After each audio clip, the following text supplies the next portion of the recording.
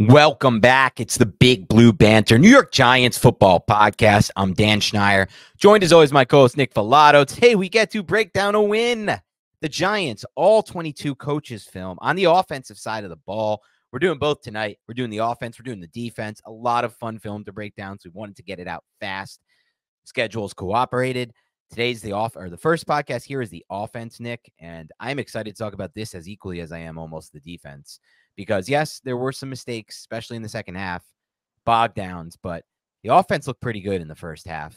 Um, and there were some really fun plays to break down. I felt like what you said off pod was really true, and we'll get into more of that. But they had good counters, the Giants, for what the Washington Commanders were running on defense. And I don't feel like that was the case against Del Rio really at all last year, twice. They played Del Rio twice last year, and they just couldn't counter what he wanted to do from a schematic standpoint. Kafka was in his bag. Maybe it was the help of Daboll getting involved, according to Pat Leonard, at least, who who knows that's true or not. But he said Daboll got more involved in offensive meetings. Not sure if it was the case, Nick, but certainly looked like the offense from a schematic standpoint, from a game planning standpoint, from a specific individual play call standpoint against what they were doing defensively on specific calls were there. They were sound and they were making the right decision. So I want to hear a little bit about that from you. I want to hear a little bit about what your thoughts were. And maybe, you know, as we start this off, as you typically do, and we typically do, maybe one thought that changed from watching the tape versus watching the broadcast angle.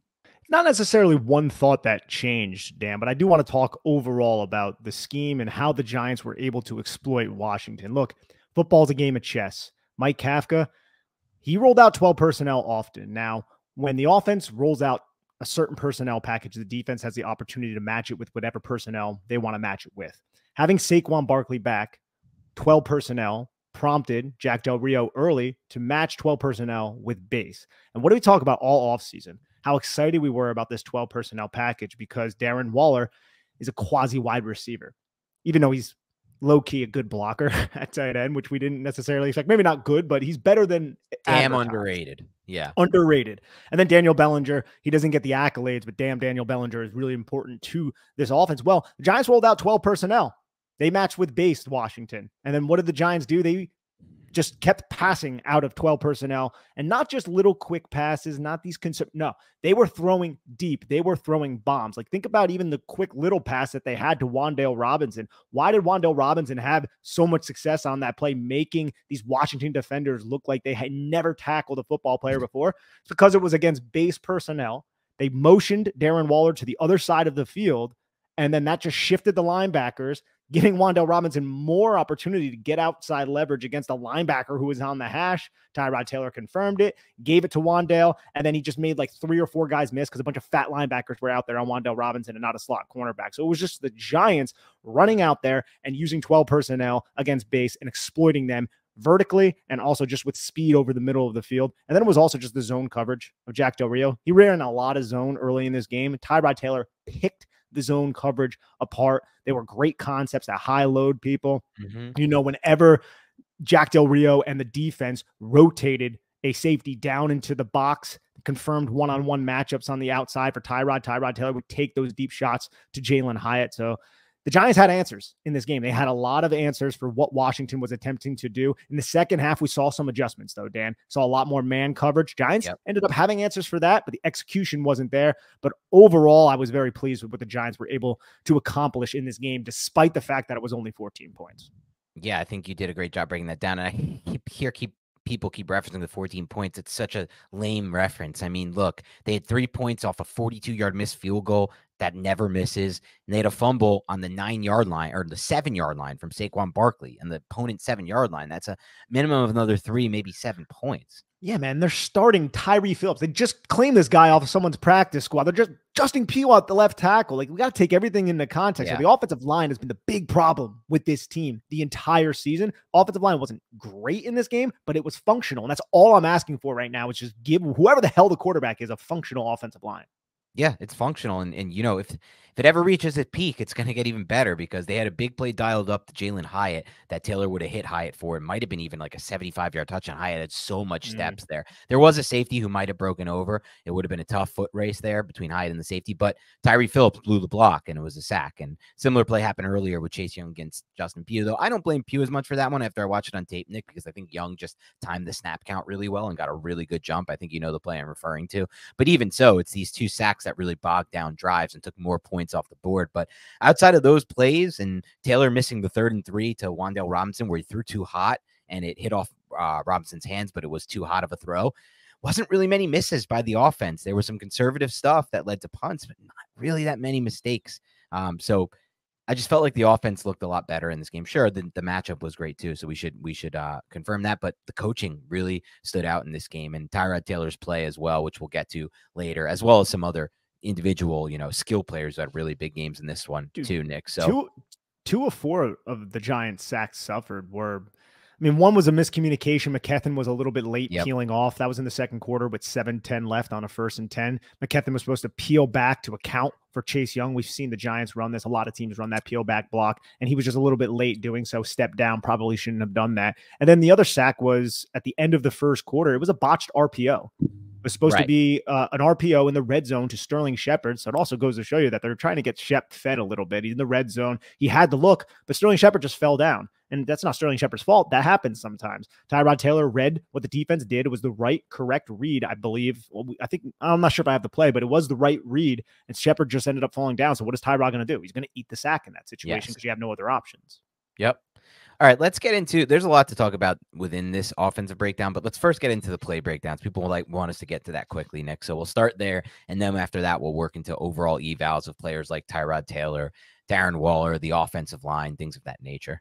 Before Nick, we get into the play breakdowns, and we are going to get to the films. We have cut ups of a lot of plays. Nick has a bunch, and then I have some I want to throw in at the end as well. I want to talk about a few things, some stats that really stood out to me that are interesting. So, first, I want to shout out to Duo ba- Dua Barrow, who is also a film analyst on Twitter who I follow. I'm not sure if you're connected with him, Nick, but he does a pretty damn good job. And he did the numbers and he, he actually totaled the stats on the Giants quarterbacks under pressure this season. So Tyrod Taylor under pressure this season, he's suffered eight sacks on 100 dropbacks, and 8% sack rate. He's been pressured on 18.6 uh, or his pressure to sack rate is 18.6%. That's 17th highest in the NFL. Daniel Jones had 28 sacks on 197 dropbacks, 14.2% sack rate, 30.8% pressure to sack rate, third highest in the NFL. So I just thought that was really those were really interesting numbers there. Um, and they they did it with the snaps together for Saquon Barkley as well. Uh, these are the snaps where they had Saquon Barkley on the field, I believe. So yeah, these are only the snaps with Saquon Barkley on the field because this was to account for uh, the idea that with Saquon Barkley on the field, um, you know, it changes it changes everything. So just an interesting stat right there. I wanted to see if you had any thoughts on that.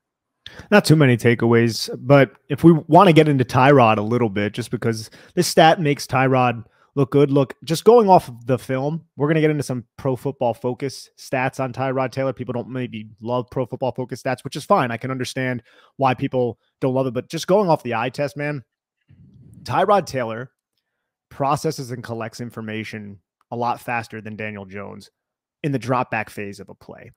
I think that's just objective at this point because Tyrod Taylor, man, he has multiple answers by the time he hits his back foot if his priors, what he thought the coverage was going to be, is not confirmed once he gets there because of all the processing that happens on a three step drop.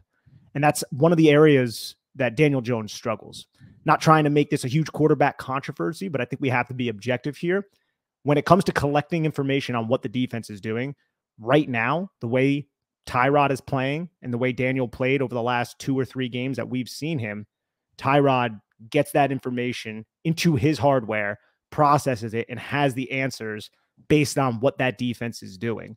And that is invaluable when you don't have an offensive line that is that great at protecting.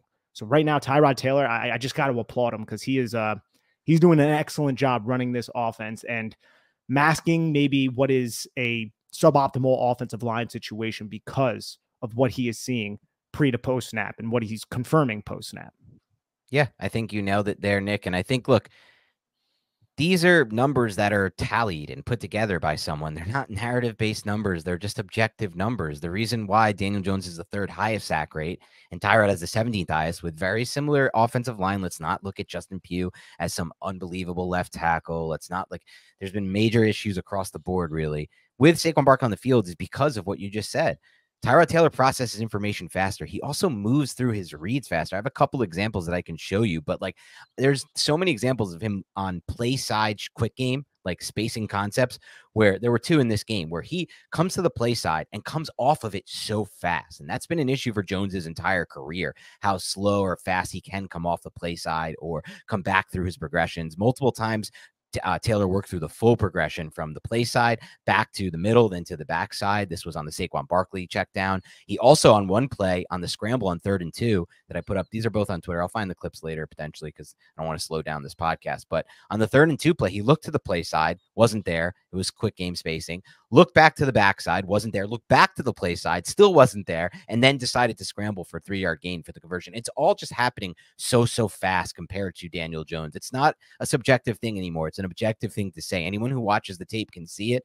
Jones is a very slow processor compared to Tyrod. Now, I don't know how he is compared to like Howell's a slow processor. We just watched a slow processor, for example. There are other quarterbacks who process slower than others, but you know, Jones, it's very clunky in the pocket also with Jones. It feels like with Tyrod, it's a, it's not not many wasted steps. He he really moves through things fast. He like you said, he processes it before the ball's even at his hands. That's the cool part. It's like so much information is moving through his, his head at that point. It's that before he, can, completes the drop back. Yeah. So yeah, it's a three step really drop. He catches the football. He's realizing what the safeties are doing. He hits that back foot. If his preconceived first read based on the coverage that he thought it was going to be is different, he already has the answer to what the coverage is post snap. And that is a huge element to playing quarterback because right. you are going to be able to win that chess match within a play against a defense because you're going to have the answers because you know how to confidently read defenses and you've seen so many defenses throughout your career that you're not easily fooled. And I'm not saying Daniel Jones is easily fooled,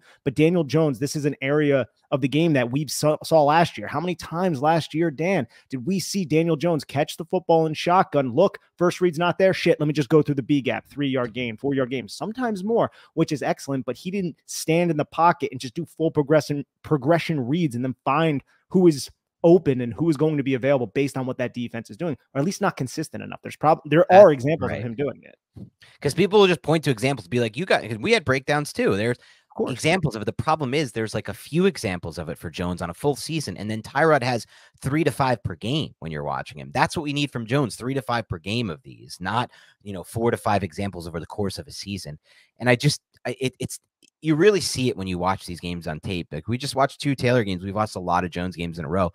It's clunky is the word I use. It's very clunky with Daniel Jones back there. It's much quicker. It's much faster with Tyrod Taylor. And that's just some part of Jones's game that he has to improve. Like we saw examples of him improving from a pocket manipulation standpoint, Nick, last year but it just doesn't look like this level that Tyrod's at. And this is not even the highest level of it, but it, it is actually a pretty high level. Like Tyrod's underrated by a lot of people's standards. Like he's probably like you talk, we talked about this before the pod. We think he might be one of the best, if not like he's top three backup quarterback in the NFL right now, and he might not be three. Like that's how it like we mentioned names like Gardner Minshew. I watched Taylor. Taylor's a better quarterback than Gardner Minshew. Gardner Minshew makes tons of mistakes that lead to turnovers. Taylor had no mistakes in the last two games, really. He had a missed throw to Wan'Dale Robinson on third and three this game. And that was basically it the entire game. It almost felt like it's just a good level quarterback. But look, when you see numbers like that, that's why I wanted to bring them up, where they're getting pressured on a very similar rate, but one's taking a lot more sacks than the other it says something in my opinion and it looks that way on the tape too.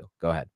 So two of the biggest issues with this offense even last year one offensive line. We saw that this season. Yeah. i think tyrod taylor helps to mask that better than what daniel jones did when he was in there albeit i can concede that daniel jones maybe was in a worse situation against better defenses.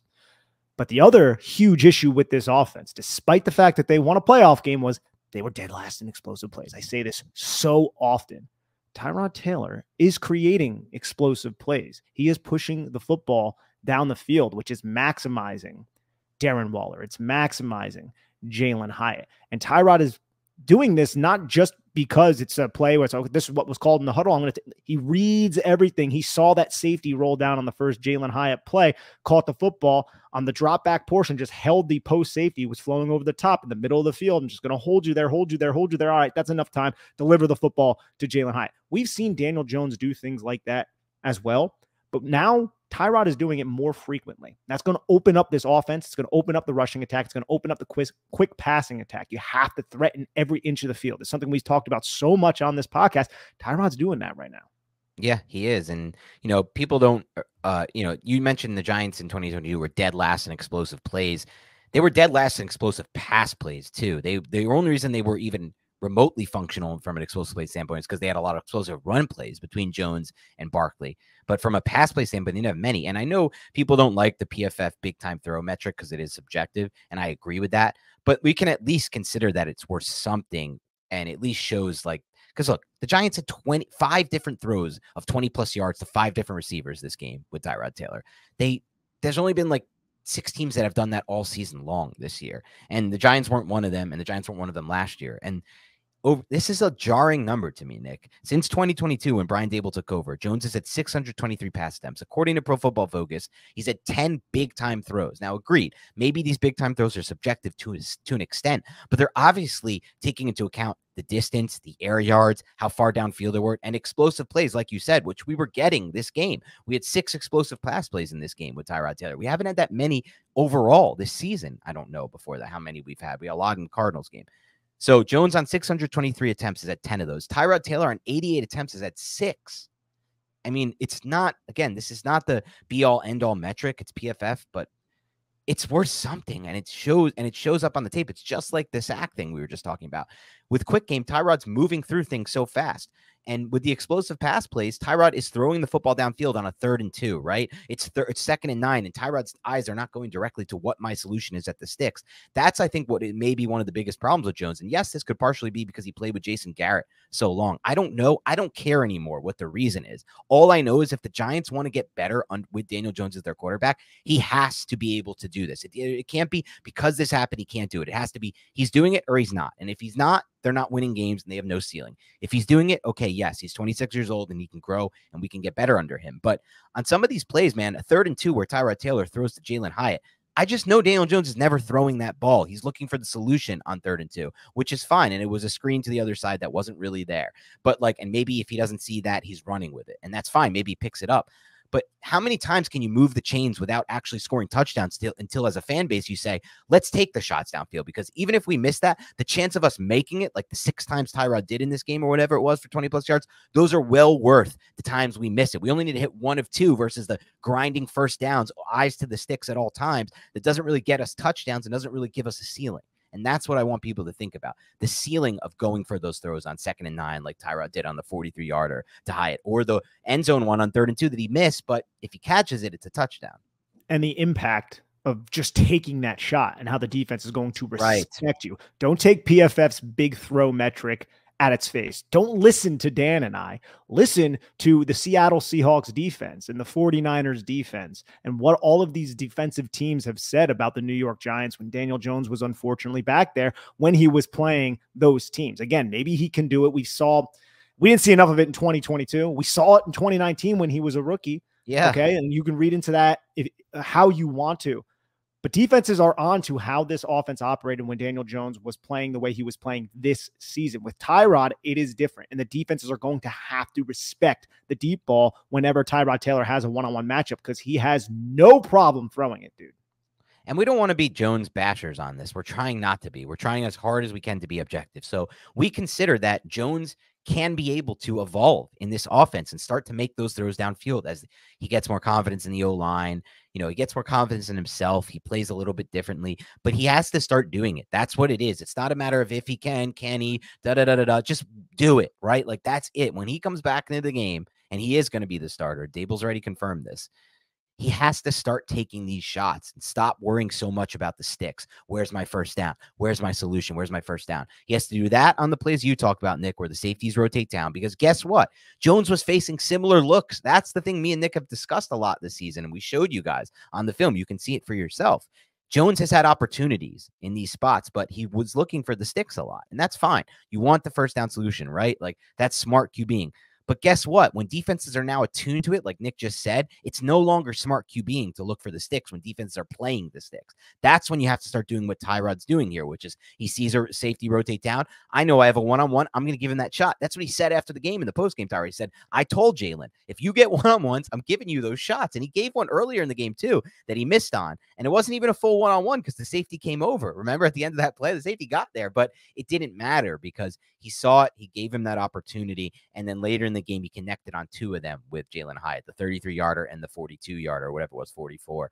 And so that's all we're talking about here. I wanted to bring up those two stats. I think they're interesting to show the dichotomy in quarterback play. And Jones, when he gets back in, is going to have to really produce at that level. It can't just be, we talked about this last night, but now that Tyrod's shown the capability, that's the level Jones is going to have to play to. He's going to have to get better at shooting those shots. And two, on quick game, he's going to have to move through that progression faster on quick game because Tyrod moves through it very, very fast. And I'll never tell anybody how to fan. And that's mm-hmm. a big talking point on the New York Giants. But everybody should hope that Daniel Jones harnesses that and plays that well. Right. Plays as well as Tyrod Taylor has played. So we're all hoping for that. The Giants are tied to Daniel Jones right now. They gave him $40 million a year. That contract, what? Could be three years. I know it was a four year deal. They can get out of it after two, whatever. But we want Daniel Jones to take these steps. Okay. So it's not a Daniel Jones hater type of thing, but you want to get in the plays and show some of these instances that we were just referring to? Yes, but one more final thing on that. You may look at us and say, or look at that analysis Nick just gave and say, well, Tyrod didn't score that many points, but I just got to tell you, the film doesn't, the film tells a different story. It simply does. We're going to have to hopefully show you guys that and explain that to you guys, but the film tells a different story. The Giants could have had more points. It's not Tyrod's fault. Gano misses a 42 yarder. It's not Tyrod's fault. Barkley fumbles inside the nine. And it's not Tyrod's fault that he doesn't score that many. Like it was his fault he didn't score before halftime, but it's not Tyrod's fault that Darren Waller gets held and they don't call it on a play that he throws a ball to a spot where Waller didn't get held and he was allowed to fully run to the back of the line. He catches that football. We just saw it this game. And those are all examples of two games Tyrod got to play with really bad O lines. Like, yes, the O lines played better, but it's still not a good O line. Like, I, I saw this stat earlier and I told this to Nick. The Giants are dead last in offensive line continuity this year. They've only had 14% of their snaps with the same offensive line this season, 32 out of 32 teams.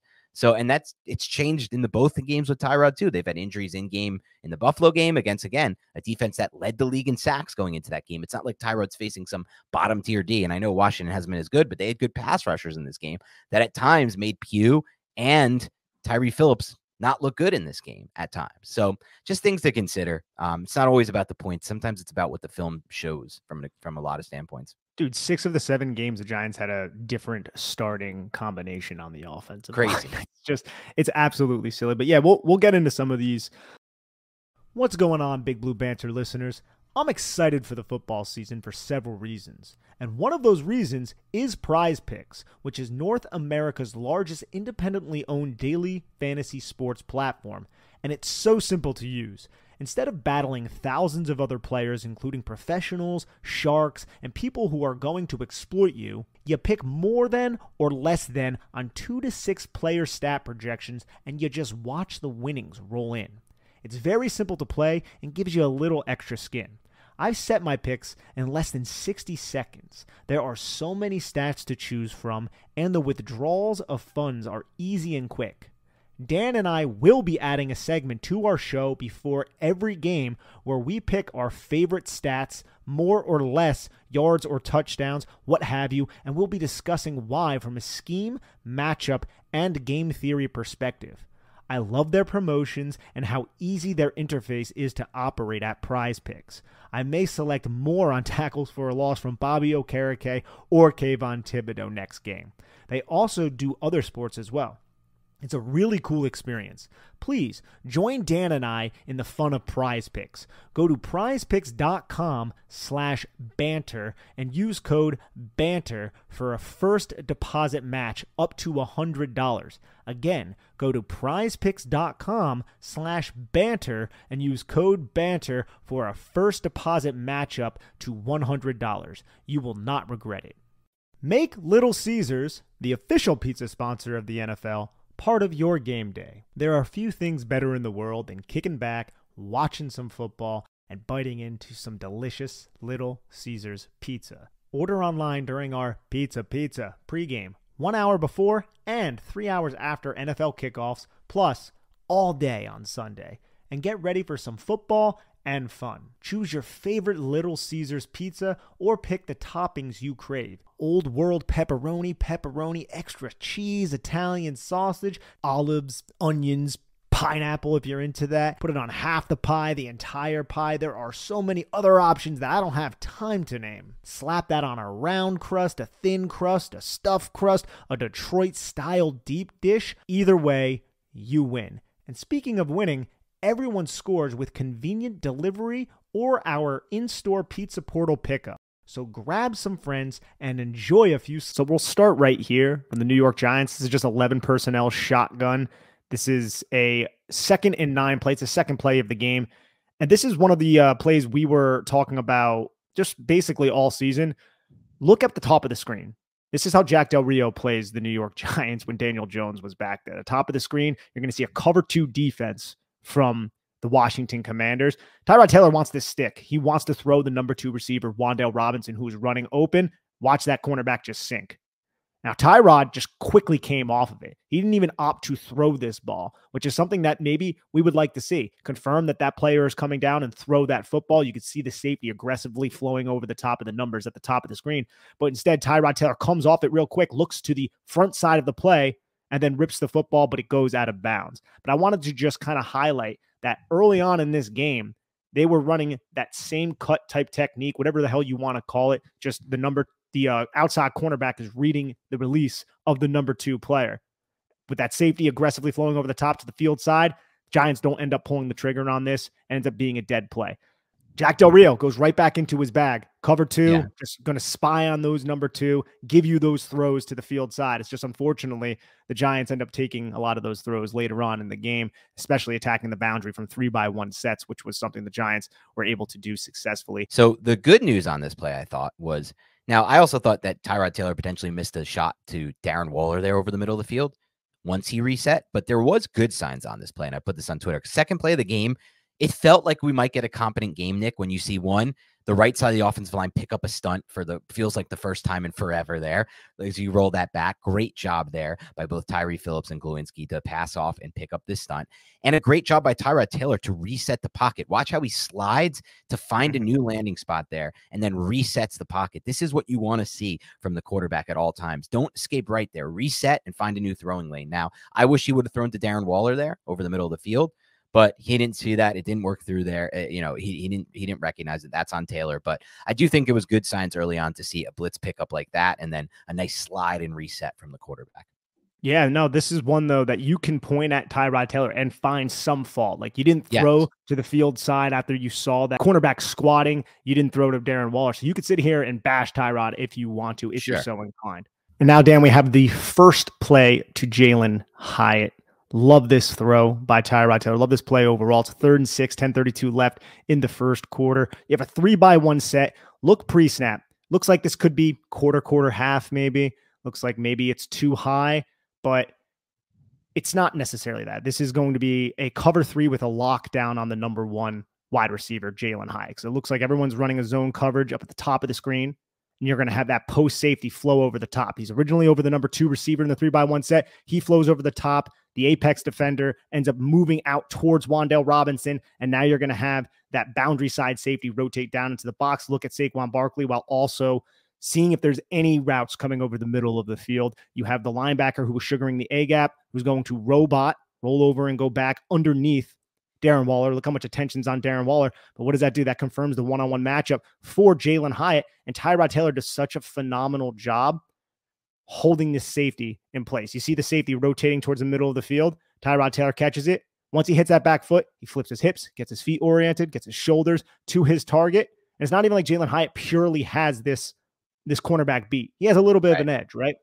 But this throw, he allows Jalen Hyatt to run underneath it. Like this is this is Tyrod Taylor throwing a pass and just trusting that his wide receiver has the speed and acceleration to locate it. And that's just well placed right outside of the reach of Benjamin St-Juste and it allowed Jalen Hyatt to make this catch. And let's watch Tyrod Taylor's helmet. Hold the safety, hold the safety, hold the safety, hit the back foot, get everything oriented, Safety's nowhere close, and that football's right in the breadbasket for Jalen Hyatt. Yeah, outside shoulder where you want it led ahead of the receiver, so it drops right in there. And I just love what you said, watching his helmet and then watching his feet, man. His lower half. Tyrod oh, yeah. is such a connected quarterback. I think that's what's let him stay in the NFL so long. Yeah, thank you. I appreciate that. I think it's. I, I, I was thinking about that today watching him. I think it's really what's allowed him to stay in the NFL NFL so long. You watch just just focus here if you're watching on YouTube on his lower half here as he transitions from looking left with the stripe of his helmet to flipping and rip flipping back to his right and then getting rid of that football. Everything is so connected. Everything is working in conjunction with itself with with it uh with and I type Nick like staying connected is something I'm trying to do in my golf swing. This guy's doing it as a quarterback, throwing a football 40 yards down the field on the outside shoulder, leading the receiver. Just an excellent, phenomenal throw here and a nice pocket. Double well. bogey. Uh, yeah. Thanks in large part to or not in large part, but in part to Saquon Barkley with a nice blitz pickup as well. Oh, it's a huge blitz pickup by Saquon Barkley. Saquon Barkley has the last two seasons been pretty damn good in this department. I don't think he gets probably the due credit that he deserves. It's against a linebacker, but he stands the linebacker up just right in the gap. Jamin Davis can't do anything. Like Saquon Barkley owned Jamin Davis in this game, bro. Saquon, Saquon beat him on, on multiple plays. It was really fun to watch. That's just a beautiful play overall by Tyrod Taylor in this offense. So we also saw a somewhat diversified rushing approach from the New York Giants. Nothing too crazy, but I charted some of their runs. It was mostly split zone, but we also saw GH counter a handful of times, and this is going to be one of those plays. Saw a duo run, saw a couple inside zone, a halfback stretch, saw a dart, tackle wrap, whatever you want to play. So, or whatever you want to call it. So we saw several different types of runs from this offense. And on this play, we're just going to see a GH counter. We see this a lot. Backside guard pulls along with the H pack. And I just think this is such a, a great little detail by Saquon Barkley. Watch as the Washington Commanders get penetration. Saquon Barkley just shimmy and sway away from this penetration and then find his block and redirect himself to pick up good yardage here. I don't know. I just, for whatever reason, I appreciated this run yeah. by Saquon Barkley because I don't know who that is. That might be Da'Ron Payne, who's an absolute beast he gets Saquon Barkley off his landmark. Saquon Barkley has to reorient himself. He avoids the contact and just lowers his shoulder and picks up a couple extra yards. And then you look at Darren Waller. Darren Waller coming across a formation. Watch him contact Jamin Davis perfectly. Outside shoulder on outside shoulder, yep. create the seal. Create the seal, turn Jamin Davis, who is supposed to be filling this gap well, away from the play. And that's exactly what Darren Waller does. Darren Waller has been used in this role. This is typically a role with Daniel Bellinger, but you don't want to put Daniel Bellinger out there all the time to to run this route, not for from a physicality standpoint, just because you're going to be tipping your hand. It's going to be, oh, it's going to be right. GH counter. No, so you put Darren Waller out there. Now you can run GH counter. It might not be expected. And he's able to throw this block on Jamin Davis to open up. This is a pretty damn wide hole with Glowinski yeah. engaged, with 79, Phillips engaged, and then Jalin Hyatt taking on Kamren Curl. So just a really well executed play by the New York Giants up front on this GH counter. And they did a couple things I liked on that play. First of all, it came after the explosive pass play to Hyatt, so it was up tempo, and they ran it, which I thought gave them an advantage. And the other thing I wanted to point out was I really like this rep from Tyre Phillips to go to to to attack the double team, help out a little bit there, and then climb to that second level and get oh, to dude. that linebacker. Like that's a nice rep from 79 there. I'm so glad you brought that up because this is exactly what you're supposed to do. And the the double team is on the one technique. So that's the player that the Giants are blocking down on. Because the end man on the line of scrimmage is he's off of a five technique, not quite a wide nine, but he's wide of the tackle. And that's not Tyre Phillips' responsibility. That's going to be the backside guard's responsibility to kick him out. Tyre Phillips' responsibility is to double team up to the play side linebacker. So what do you do? You have to aggressively attack the outside hip to form the double team with your guard. And he does that. You see the pop on contact against Ridgeway, and then Phillips just goes square right to this linebacker and then eliminates him. That's a really well done play by Phillips. And I'm really glad that you brought that up, dude. Yeah, excellent execution, honestly, from multiple players on the Giants on this play. This is just how it's supposed to be done. And it's good to see the run game start to get, get a little bit more uh, on the same page. So originally, the Giants come out and they're in a bunch formation and they're going to motion Waller. All of the defense just takes a step towards the motion side because now you have a double strength to that side. The running back is on the opposite side of the uh, of that, or he's on the same side of that double strength, but the opposite side of typically where you would run the football to in a shotgun formation. So look at the leverage that Wan'Dale Robinson has at the bottom of the screen against this linebacker who is on the hash.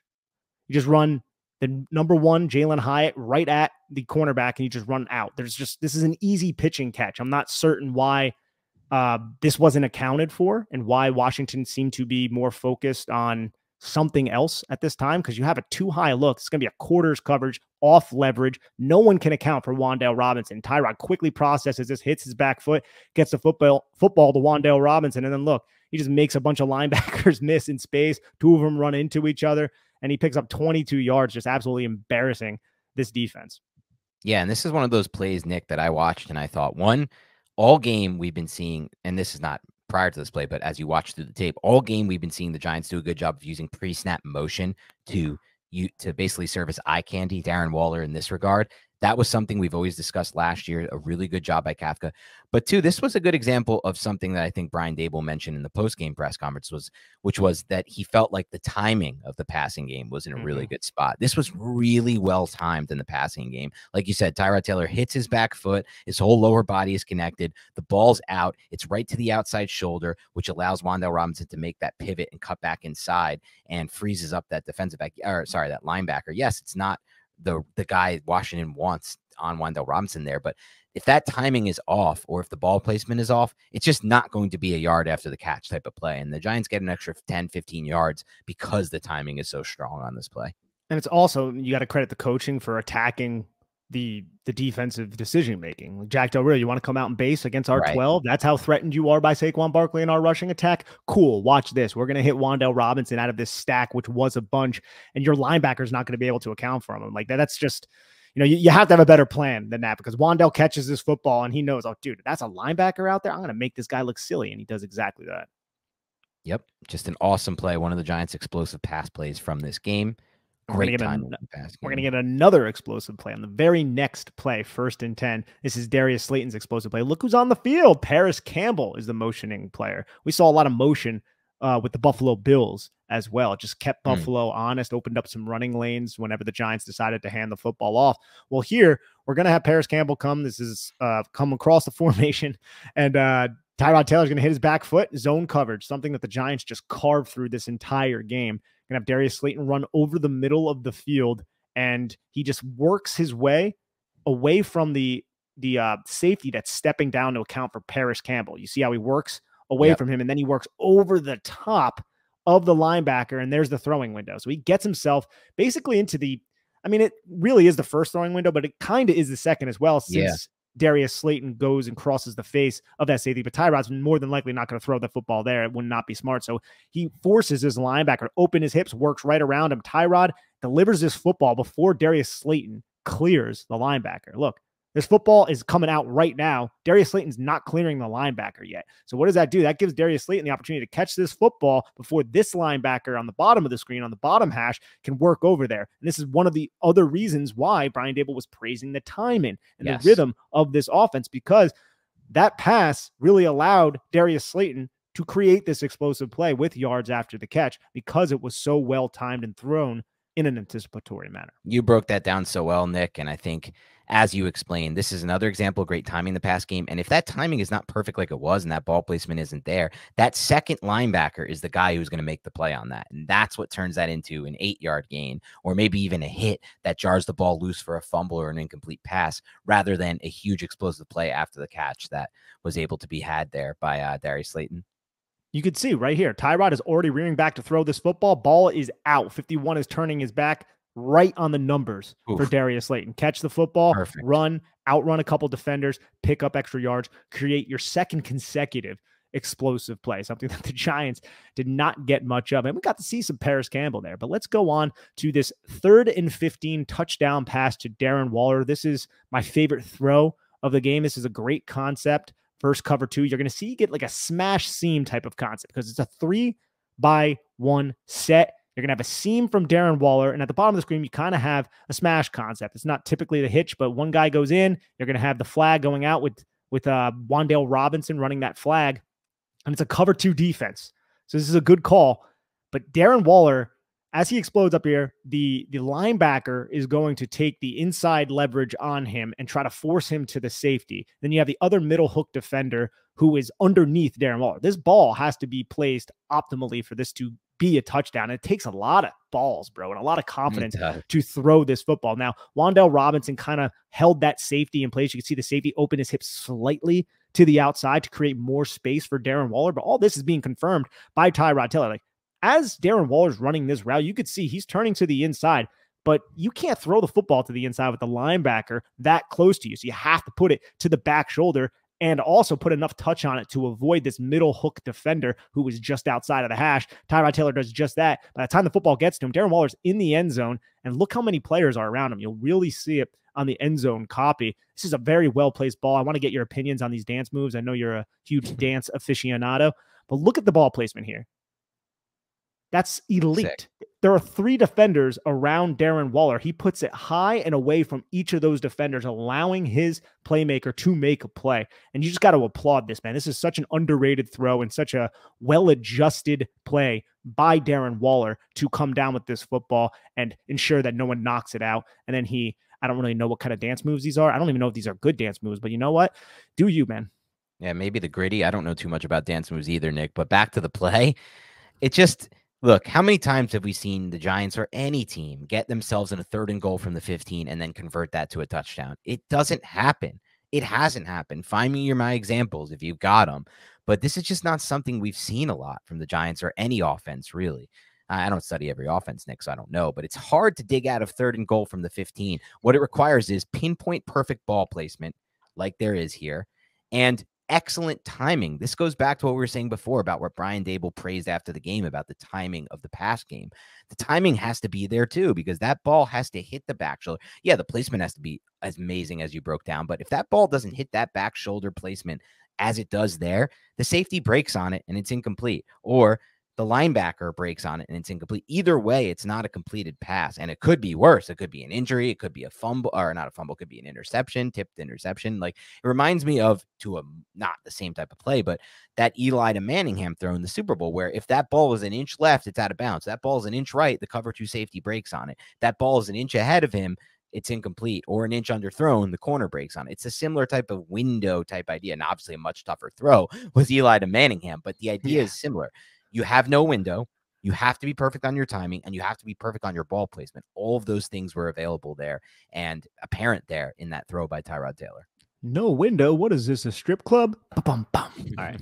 Now, but uh, this is a this is a really well timed throw, and you also have to applaud the pocket. This is a great pocket yes. by the Giants. Washington decided to drop seven into coverage. They only sent four. Look, if you're going to get pressure on the New York Giants, you probably want to slant. You probably want to twist. Mm. You probably want to do a lot of um, creative creative things to manipulate the protection and just get one block or two blockers on one. Here they just all kind of traditionally try to win outside. And you can win like that against the Giants, especially when Evan Neal's out there. But with the six man protection, you have Matt Breida to protect Justin Pugh. And it's just like, look at that pocket. That is an elite pocket yeah. that Tyrod Taylor gets to throw from. Easily. That's definitely worth bringing up. And I'm glad you said that. And now we're going to talk about a pocket that wasn't necessarily elite, but this is the touchdown play to Saquon Barkley. I absolutely love this this play from Tyrod Taylor and from Saquon Barkley. Look, the Giants clear out one side of the field. You're going to see the deep over route because the the um, the nub tight end, the Y tight end is Darren Waller, and you're going to have three eligible receivers on the other side. This is 12 personnel. I believe this is base personnel too. I, I could be mistaken. They might have matched to nickel at this point because the Giants were carving them up with uh, 12, pa- uh, 12 personnel passing. But watch Darren Waller just clear out the bottom of the screen. You're going to see the pattern match of Washington. There's going to be a push call. He's pushing Darren Waller, but he also is sinking because he sees the backside crossing route. So this is a play that we would applaud uh, Deonte Banks for.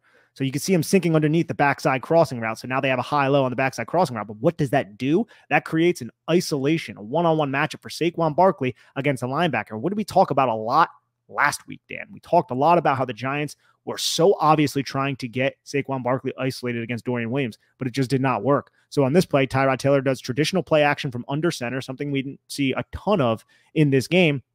And Saquon right. Barkley just out athletes Jamin Davis. But also, Tyrod Taylor's path on this play was another reason why I think Jamin Davis was slightly hesitant to come down because you're going to have the play action element. Tyrod Taylor, the pocket's still actually pretty good here, but Tyrod Taylor steps up because he sees it's man coverage. He sees everyone is cleared out, steps up, and now you can see Jamin Davis is looking right at two. He's looking right at Tyrod Taylor. He's like, Are you going to run? Are you going to run? Right. And then he's like, Oh, crap, man. What about 26? And now he's a absolute angle eraser. And Saquon Barkley does what Saquon Barkley does and takes this all the way to the house. Absolutely love this play, getting more explosive plays through the passing attack. This one a little bit more unconventional from a play action standpoint. It's so unconventional, Nick, because we're rewind it a bit. It's like the conventional side of it is why is Tyrod Taylor stepping up into this pocket? He doesn't really need to. It's such a good pocket. But the unconventional side of it is if he doesn't step in, up into this pocket, does this play ever happen? Does Jamin Davis ever have that hesitation for the quick second as Taylor moves forward? And does he stay with Barkley otherwise or stay enough with Barkley to make the tackle after the catch? Right. Like, so that's the funny part about fun part about this play. It's like Tyrod probably shouldn't be escape, stepping up into this pocket. While at the same time, if he never does, I'm not sure if Jamin Davis actually you know, hesitates and steps forward real quick against Barkley, and then Barkley has the ability to create that much separation. He's going to create some separation, but that much. And then the third part about this play, as you see more from the end zone angle, is look, this is not as easy a throw as people think it might be. As you're stepping up, moving forward from an unbalanced base, from that arm slot and arm angle, it is not that easy to get that ball outside as he does here to Saquon Barkley. And it's so important to get the ball outside to Barkley because that allows Barkley to lose no momentum as he turns up field there. You can watch Barkley catches that and doesn't lose the momentum. It still almost gets tackled. If that ball placement is not where that is, or it slows him down in any possible way, it's going to be a six yard gain. It's not going to be a touchdown here. So that is a really good job by Tyrod and the quarterback here of changing his arm slot, getting the ball to a position that doesn't require the receiver or the running back in this case to slow down after making the catch, allows him to lose no momentum and transition upfield. And, you know, not not to bring this back to Jones, but there have been times where Jones has missed on some of these throws in the flat or has made them, but they've slowed down the post catch. And so I just think it's worth discussing here. This play was definitely unconventional. It's a play that, you know, we might say earlier, like, don't escape this pocket, but I'm not so sure if he doesn't escape this pocket and move forward into it if this play ever happens. Well, look, dude, let's watch the stripe of Tyrod's helmet. We know what's happening here. You have Darren Waller running a deep over and then another over from the backside.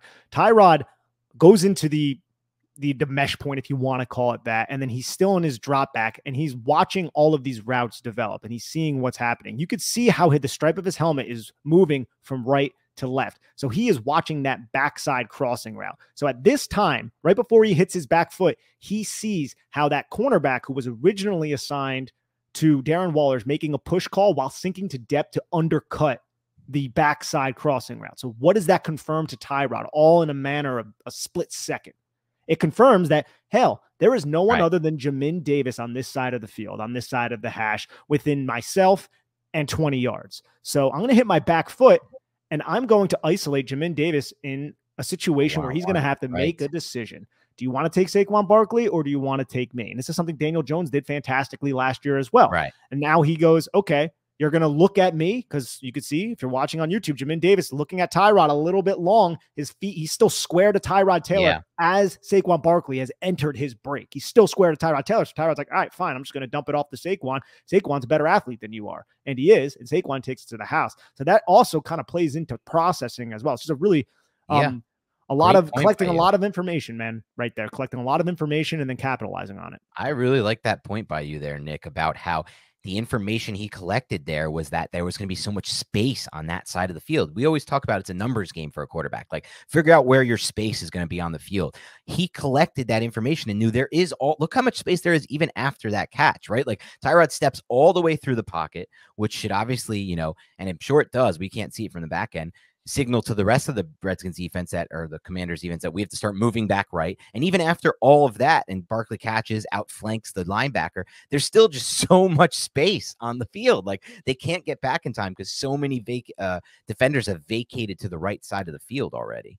And they also, you can give credit maybe to the coaching staff too. I'm not certain, but sure. Jack Del Rio does this a lot when he's in quarters coverage right? He'll pass off the one route. It's an inside breaking route. The cornerback will pass off and he's going to flash his eyes to the backside to see if there's a crossing route that he can work to undercut because the safety, you could see Cam Curl, number 31, also was closing down on Darren Waller. They're paying attention to Darren Waller. Someone needs to undercut the backside crossing route because it's going to have over the top help. But as we know, it's not going to prevent you from catching a long pass. It's just going to prevent a touchdown more than likely. So it's going to clear out so much space. So the Giants end up taking advantage of that space. I, I absolutely love this uh, play overall from the Giants, man. It's great to break down good New York Giants offensive film, yeah. man. It really, it's refreshing. It's a lot more fun.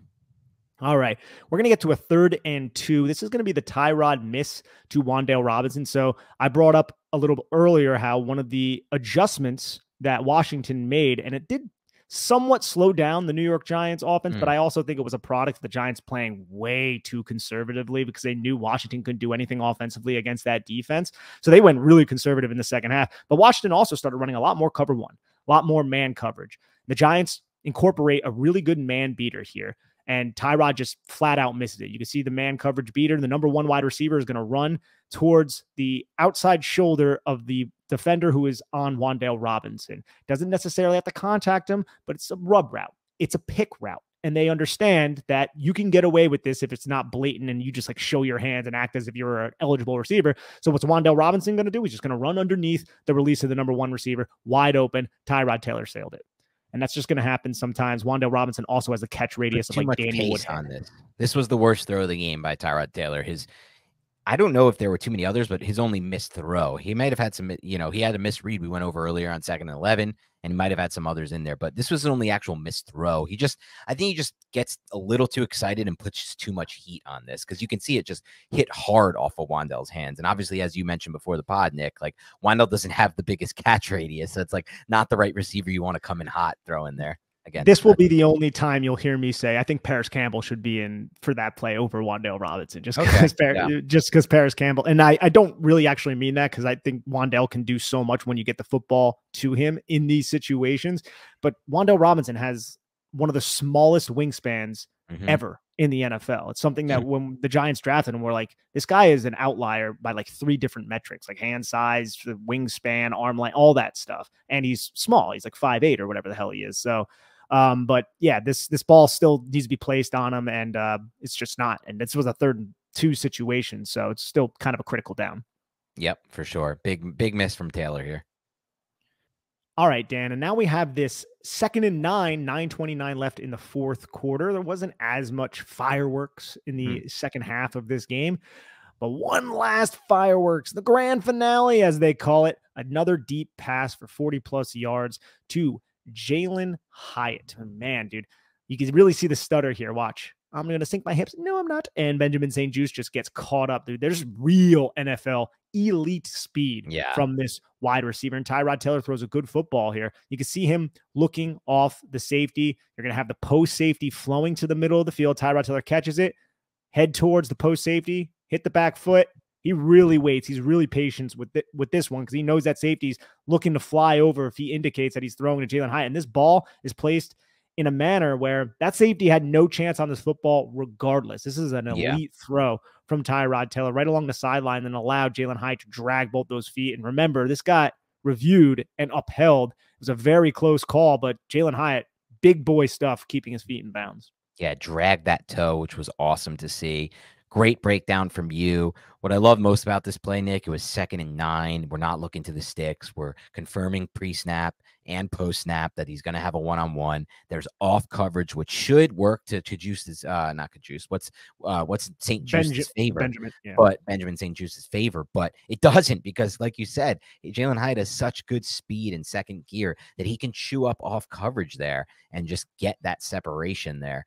Uh, just an just, awesome just, play all around eats into the cushion, man. Like this guy's a mm. cushion eater. Like you can give him the cushion, sure, but if he hits you with a double move and then you fall right. for the bait, which this is a play the Giants ran a lot last year. This is just all right. It's middle of the field closed, pre-snap. That's what it's going to be post-snap. We believe. So we're going to run, just stutter and go. One of these wide receivers need to win. Hold the safety in the middle of the field and bet the matchup that you like best, and that's going to be Jalin Hyatt against St-Juste. And you can see how that stutter at the sticks. Like, look, oh, I'm going to the sticks. Oh, no, I'm not. Yeah, ran right around him. Oof.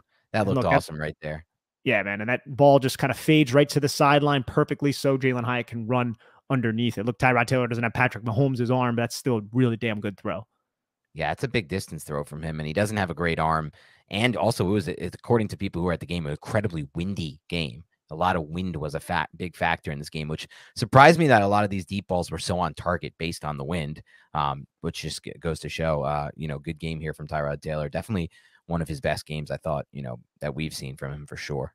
I mean, when's the last time Tyrod Taylor has started a football game? It would have been the Chargers, right? Justin Herbert's right. rookie season. No, Houston, I think. Houston. Oh, Houston. Yes, yeah, you're right. Game. Houston, he did. Yeah, he started a couple games, and then it was the Chargers, and then before that, it was Baker Mayfield with the Browns. This guy's been right. everywhere, dude. He's had a long career with some weird shit that's happened to him. So I'm glad he's having this moment here. He comes in and throws for 270 with two TDs, five receptions of 20 plus yards to different receivers, and two touchdowns. You know, that's a pretty damn efficient game from him. So good stuff all around. I'm going to show a couple plays here that I wanted to discuss.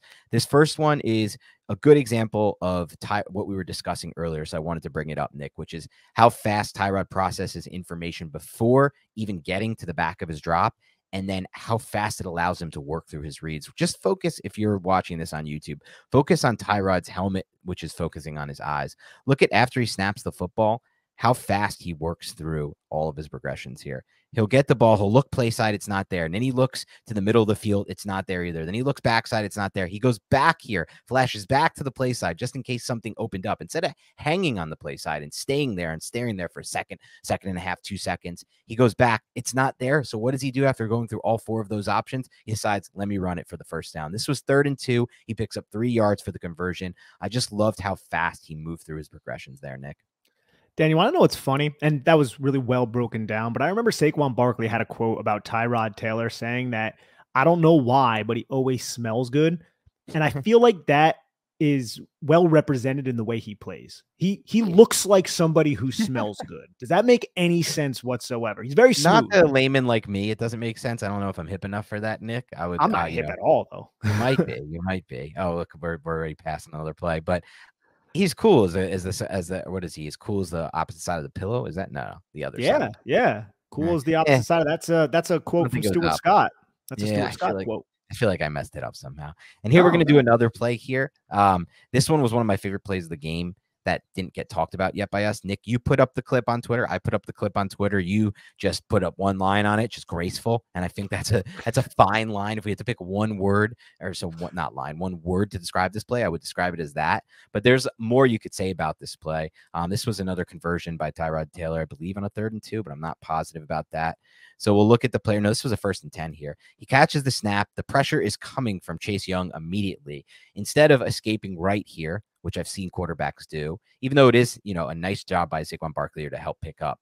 Oh, yeah. He steps up into the pocket. There's nothing there because the linebacker's coming up. So he transitions smoothly to the left. Now, as he's rolling, look at this ability to make that throw. That is arm slot. That is changing your arm slot here. As he's rolling to his opposite shoulder, he's able to flip his hips and look at that arm slot he throws from. I just love different arm slot throws. That is such a pretty looking throw right there from Tyrod Taylor. You do not a lot of quarterbacks are able to do this, this kind of three fourth sidearm uh, throw while moving to your left and then keep the accuracy and the ball placement good. Sometimes if you try a throw like this while rolling, sprinting to your left, it's going to go way all over the place. The ball placement is going to be terrible. He's able to full sprint to his left and then still keep that throw on target. It's beautiful. It's graceful. It really is. But I'll say this too. If you were playing Madden, Dan, yeah. Tyrod Taylor's not completing that pass. Like you throw no way out of bounds. Yeah, you know that's what, I mean? am saying, dude. You're getting an errant throw there, maybe even an interception if you're playing Madden. And this is one final play I want to talk to, just to speak a little bit more to that first point I was making, which is um, just looking how fast he moves through his progressions and how much information, as Nick said, he collects before even getting the snap. Here he looks play side and immediately comes off it because you can see right away. You can't see from this angle, but the play side is not there. This is designed to go here. This is a spacing concept, quick game. The Giants run a lot of quick game. I know a lot of people have been like, no, or not a lot of people. One foolish person on Twitter said, no, he's just looking right to you know, freeze the linebacker so he can come back to a swing press on the left. It couldn't be further from the truth. He's looking right because this is a spacing concept designed to go here to the right. He's so fast to process that it, is, it isn't there post snap that he comes off of it immediately.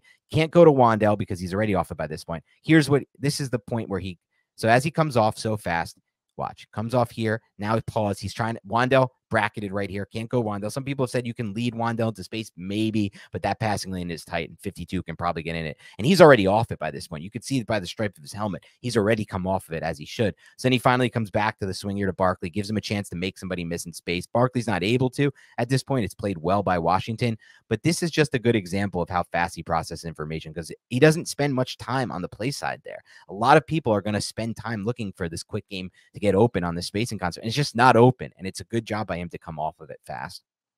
And he gave the football to Saquon Barkley, and Saquon Barkley was accounted for, but there was about six, five or six yards of space between Saquon Barkley and the defender who was coming down from depth to meet him. Right. Saquon ends up picking up, I think, like six yards on this play because he catches the football and then he lowers his shoulder and runs through 23. 23 brings him down, but it's still a solid pickup. keeps the right. Giants on schedule, and that's all we're looking for right now. and and it's not a tipped pass up that could be intercepted. And if you throw this to the side, it might have been because Washington was ready for it. I also want to run the play one more time and just have people look simply at Tyrod's lower half and his footwork. Everything is just so connected. I brought this up earlier, but you can just watch it here. Watch his feet. Watch how connected that looks as he gets back across to that to that there uh, to the swing pass. It's just like tap once, tap twice, bang, get over there and it just it helps him stay on target. It helps keep his ball placement on point for the majority of the throws, pretty much everything but that Wan'Dale throw this game. No, absolutely, man. I'm right there with you. All right, let's talk a little bit about the Giants' offensive line, and then we're gonna some notes and takeaways from the offensive line. Then we're gonna get to superlatives, and then we're gonna get out of here. So, where do you want to start with the offensive line in this game from what you saw?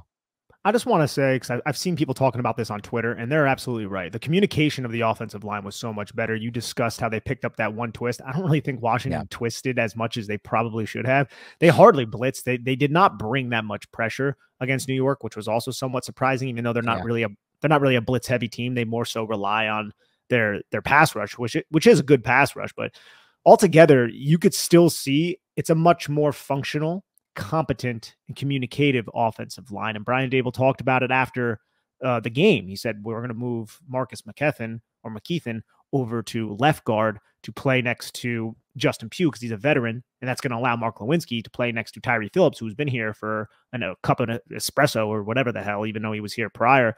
So mm-hmm. you can have a veteran there to basically assist Phillips, and I think that really helped, at least against this team. I don't know if it would have helped against a lot of the other teams the Giants saw earlier, but right now I have more confidence in this offensive line heading into week eight. Mm. And luckily for the Giants, well, not, it's not a lot of confidence, but luckily for the Giants, it appears like right now they're getting Andrew Thomas and John Michael Schmitz back, which maybe. is going to allow them, maybe, which is going to allow them to really put Justin Pugh wherever they want to put him. He should still be a star. Tyre Phillips, wherever they want him. Hopefully, Evan Neal's back. So at least it's trending in the right direction because for the first six weeks, really, first 5 mm-hmm. weeks, really, it was shit. So I just wanted to say that I, I'm just happy that at least it's not a focal point of being an absolute disaster and tire fire like it's been all year.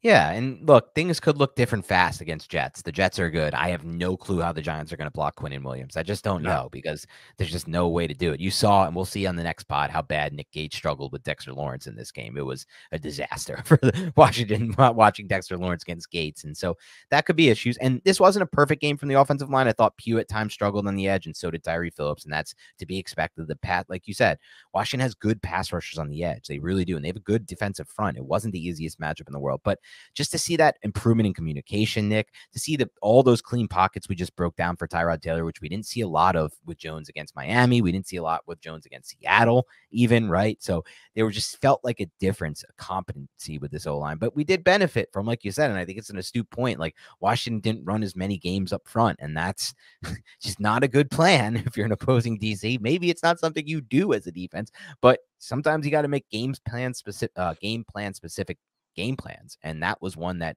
I think they definitely missed on in this game. But anything else on the O line before we get to superlatives? Now let's run right into the superlatives. Okay. Superlatives. Give me your unheralded player of the game. Ben Bredeson was the unheralded player. Look, Ben Bredeson, he's an adequate starter, replaceable starter, but he's a functional player to use that word again.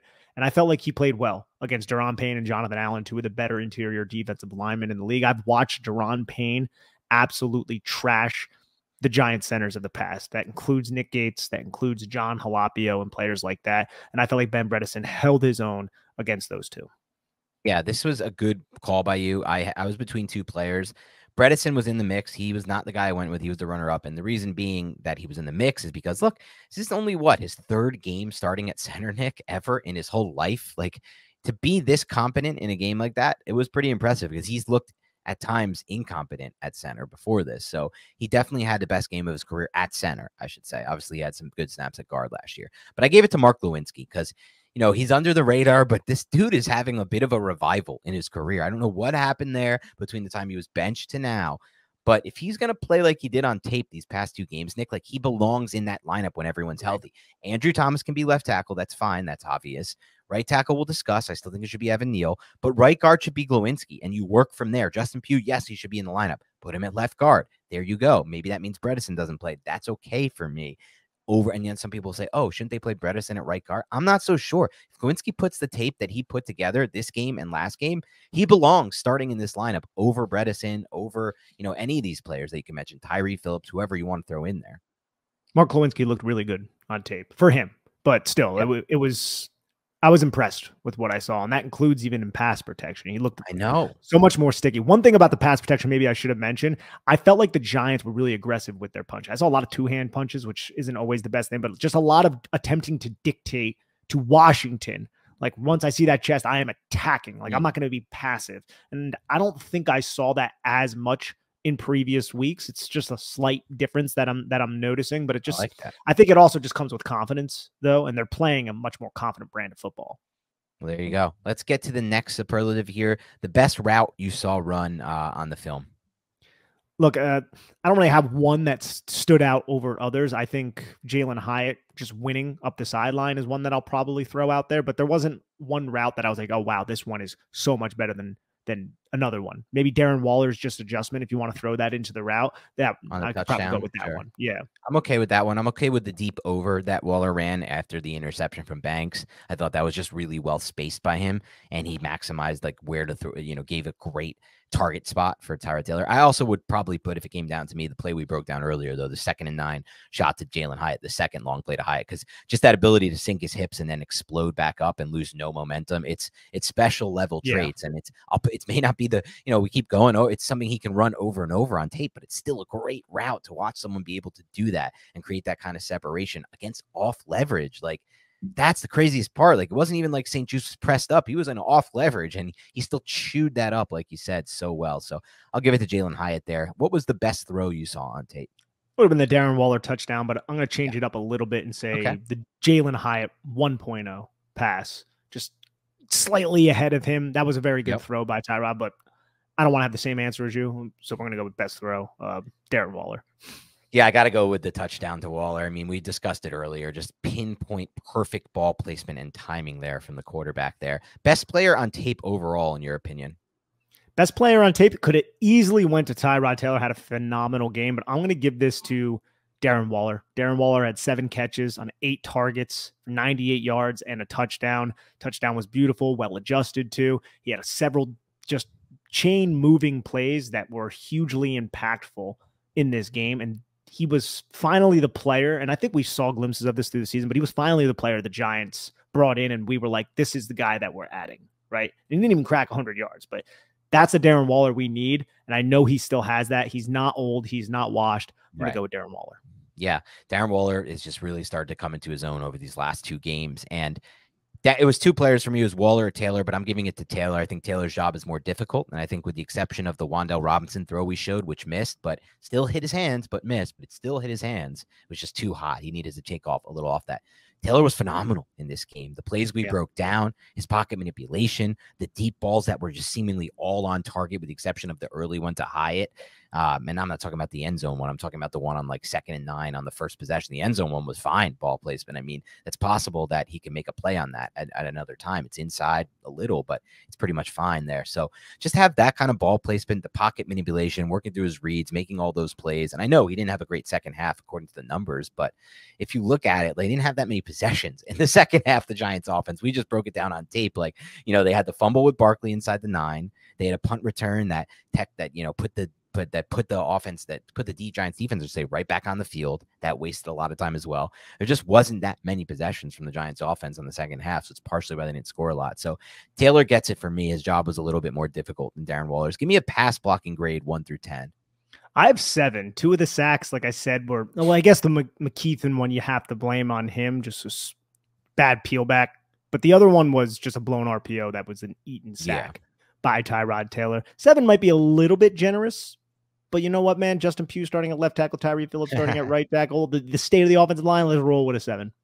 Yeah, adjusted down to it, I can see that. I gave it 5.9. I still feel like the play you mentioned with McCaffrey, also a couple of the the the pass blocks by um, Pugh and the play they missed with Hyatt late in the game because um, what's his name? Tyre Phillips missed the block outside. There's just still a few individually bad blocks in this game, and a lot of it was aided by quick game, I think, and just getting the ball out fast. But 5.9 is still fine. It's better than we've had. What about run blocking for you?